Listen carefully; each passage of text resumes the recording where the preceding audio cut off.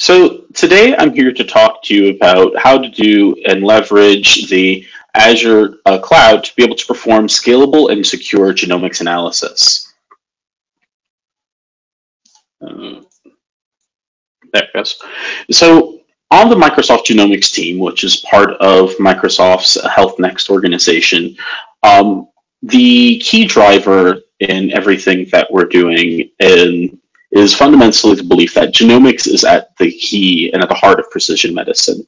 The ability to harness and to manipulate effectively the vast amounts of genomic and genetic data that's being genetic uh, that's being generated in the world and is anticipated to be generated um, in the very near future, driven by the rapidly dropping costs of sequencing uh, and coupled with the increased capabilities of the cloud, makes for a truly exciting time, and we're on the precipice of a true revolution in personalized medicine.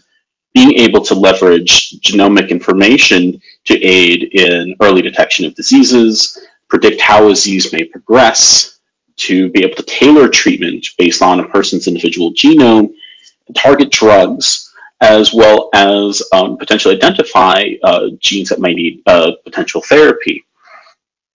And fundamentally, this work is being done at a number of different places, whether you're uh, interest, uh, working at a research institution and genomics is at the core of your fundamental research and trying to truly identify the molecular mechanisms that drive uh, physiology and the clinical presentation of diseases um, observed in the clinic. Um, academic medical research, uh, research centers that focus uh, more and less on basic science, more on uh, direct clinical application of genetics, um, of genetics research, uh, pharma and biotech that can leverage the power of the genome to perform drug development, and lastly, provider systems that can utilize genomic information to uh, inform clinical decision making. So at Microsoft, we, uh, we fundamentally try to drive genomics work at all levels and we see three main steps along the journey that any organization, regardless of whether you're at a AMC or you're at a, as in a pharma or biotech, may be progressing through. Um, just these three main stages include uh, research and discovery, automation and scale, and clinical genomics. So what do we consider and what are our goals for research and discovery? We look to build a collaborative platform that enables easy access to both open source and community developed informatics pipelines. And the reason for that is that this is a field that is rapidly progressing. And so we want to facilitate users being able to quickly adopt and utilize the latest and greatest of the scientific world as it's as soon as it's available and be able to um, leverage those tools on Azure without having to worry about the environment that they're working in, the compute resources that they have, or the storage mechanisms uh, to be able to harness and leverage that data. Once you've identified your key discovery, you then have to look to how to test that theory um, first and foremost comparing against open data sets. And we'll talk about some of our initiatives in that regard in a moment, as well as automate and scale that workflow to then be able to look at uh, thousands of patients, tens of thousands of patients, and see if the clinical phenomenon that is um, the genomic phenomenon is truly uh, cor correlated with the uh, clinical phenomenon being observed. And so we've been working to build out a workflow management platform uh, to enable rapid prototyping, uh, scaling, and automation, and I'll be demonstrating what that looks like uh, momentarily. And then last but not least, there are um, situations where you might need a uh, lockdown, um, a lockdown secure service that is already ISO certified and HIPAA compliant for clinical genetic testing. Um, and so we have you covered on all three phases of this journey. So these are some of the resources and toolings that we've been able to build out to enable customers to piece together their genomics workspace. I'll be um, briefly going through and demonstrating what the genomics notebooks on Azure look like and how these tools allow for the interoperability and sharing rather necessary at the research level. Um, then be um, uh, uh, showing you a little bit of Cromwell on Azure and how that works and how that can then be leveraged to process your uh, informatics workflows at scale using the power of uh, the Azure cloud. And last but not least, I'll be touching a bit on our genomic service. So the first step in your journey is in research and discovery. And so our focus here was to really provide a best standards open source platform that is already highly regarded by the community and bring in the best and most powerful tools um, uh, to be able to create an environment that facilitates um, this uh, analysis and R&D as quickly as possible. So we worked together with Bioconductor uh, to build and implement um, the, the ability to run Bioconductor, have a Bioconductor uh, container readily available on Azure. And those of you, I'm sure, familiar, Bioconductor is an open source development project that contains over 1,900 bioinformatics packages and growing, and is uh, curated by the fabulous uh, individuals over at that organization. We've made a Bioconductor image for Azure now available, and it's already pre-configured with 30 of the most useful bioinformatics uh, packages. On the data science front, because fundamentally we're not just looking to process this genomic data, but truly harness it and integrate it with other data types that you may um, contain, some of which were covered earlier in today's talks. Um, we have built out what we call our data science virtual machines for genomics. These are customized Azure virtual machine images and the, uh, pre-configured with popular tools, um, uh, the development kits and libraries that are necessary for genomics analysis and manipulation of data uh, um, um, once you've generated your variant calls and looking to interpret you have the ability to then leverage pre-configured um, models of pre-configured machine learning models using the Azure, um, Azure Machine Learning or Microsoft RStudio, as well as harness both uh, Windows or Linux um, environments and as well as GPU workloads. So you no longer have to be concerned as to whether you necessarily have the right hardware to build and run your uh, build and run your machine learning model.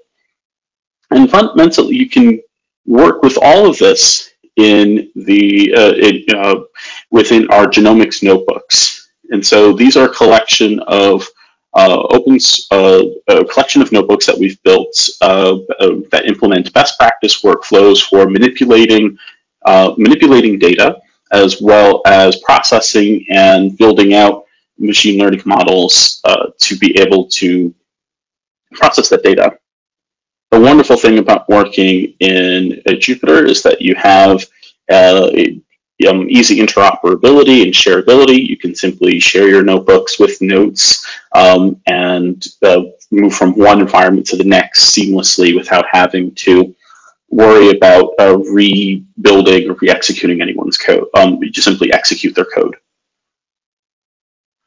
And so our notebooks are already pre-configured and include a number of different uh, sample notebooks that have uh, a GATK, Picard, uh, as well as um, the aforementioned bioconductor and some Python libraries as well. Now, once you've built your genomics notebook, how do you test that data? Well, uh, increasingly, um, there is the utilization of various um, um, publicly available open data sets, as well as uh, curating your hypotheses against uh, publicly available databases. And so we're pleased to announce at Microsoft that uh, the creation of the Genomics Data Lake on the Azure Open Dataset platform. We've brought in over a petabyte's worth of genomic data, ranging from the human uh, number of human reference genomes, uh, the as well as a number of annotation databases such as ClinVar and the uh, SnpEff uh, variant annotation protection database. These can all these all prevent um, means that you no longer have to worry about migrating and hosting all of this data directly within your own subscription. You can simply uh, reference these data and incorporate them readily into your genomics workflows, and we have information on our sites on exactly how to do that. Now that we've built and uh, gone through the research and development process, we have a hypothesis that we've tested and um, curated against publicly available databases. How do we then turn that to run at scale? Well, Microsoft, uh, we have uh, embraced the standards uh, set forth by the Global Alliance for Global Health, or GA4GH uh, Alliance, and are implemented a workflow execution management uh, system uh, that supports these standards. Um, Cromwell is originally developed by the Broad Institute, and we, uh, as an open source workflow management system to support these standards, we have gone and implemented a specific version of Cromwell that leverages Azure Batch for low cost uh, uh, processing of and, and enables uh, automation and scale for process uh, for workflows. You can uh, easily build custom pipelines uh, using containers that you may already have, or build containers uh, with Docker, and run those containers using either WDL or CWL scripting. Of course, if you just want to get started and do some initial cursory work, we are also curating a growing list of pre-built best practice pipelines of for germline variant calling, somatic variant calling, a number of pipelines for data preprocessing, as well as variant filtration as well.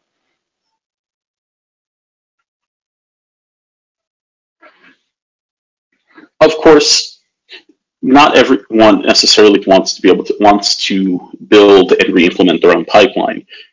Uh, sometimes a uh, off-the-shelf uh, solution is just what needs uh, just what's needed to get the job done. And so at Microsoft, we have um, uh, built and implemented a optimized version of BWA GATK.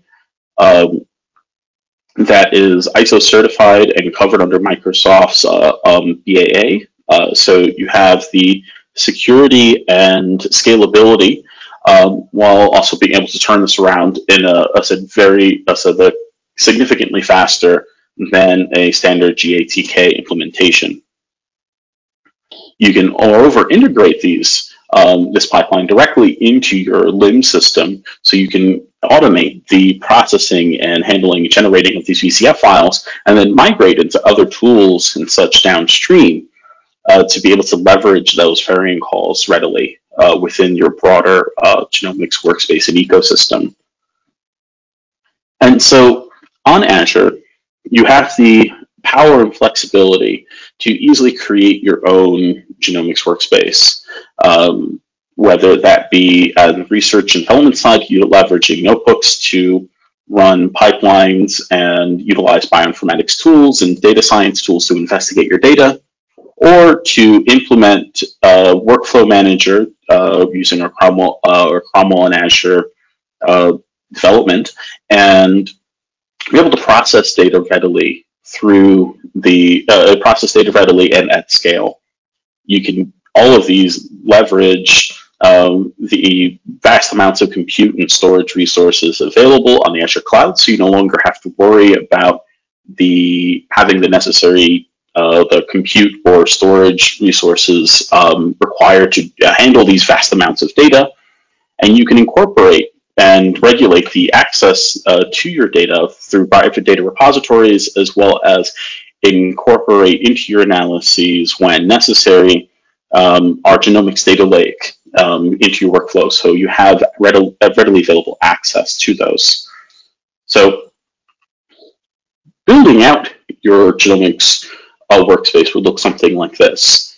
Uh, you can take your sample, um, you generate your raw data, leveraging either uh, so the Cromwell and Azure with a um, so the custom or pre-configured workflow or the Microsoft Genomic Service to generate your variant calls.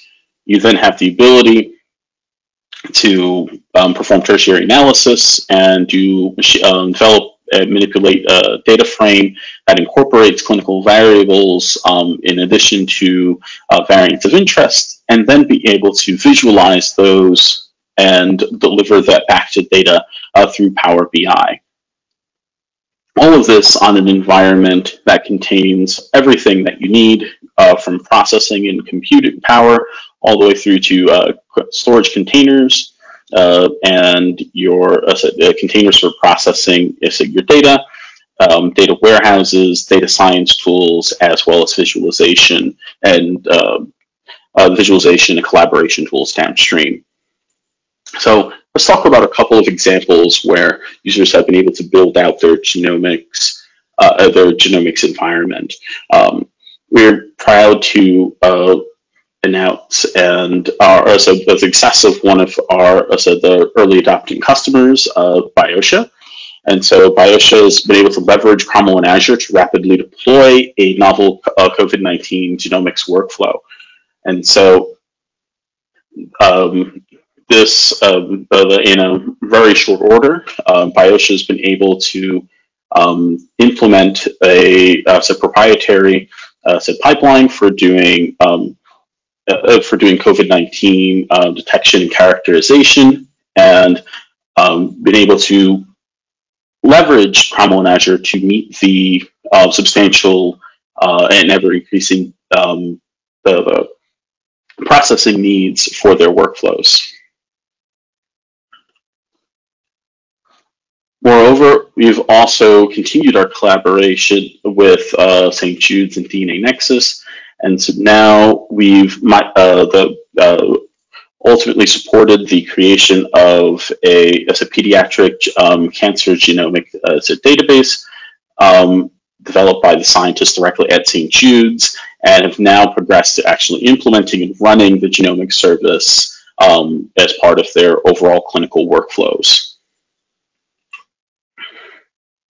We also uh, continue to and excited to partner um, uh, and collaborate to build out the infrastructure for um, processing genomics with um, various partners in the uh, genomics and healthcare space. So fundamentally, uh, so our goal within the Microsoft Genomics is to allow people to really get the most of their data through open integration and of across the entire Azure platform. Um, so we look to and strive to build tools that enable genel genomics analysis and data science. We also then build pl platforms for collaboration and automation of that analysis at scale. And finally, we work with partners to enable solutions to extend um, their specific and specialized services and products uh, within Azure. So if you'd like to learn more, we've included as part of the PowerPoint a few hyperlinks to learn about our various genomics uh, services. Um, also, please feel free to, I said, reach out to me. I said, uh, my email is at the bottom of the slide. With that, uh, I will hand it back over to Ron. Thank you very much.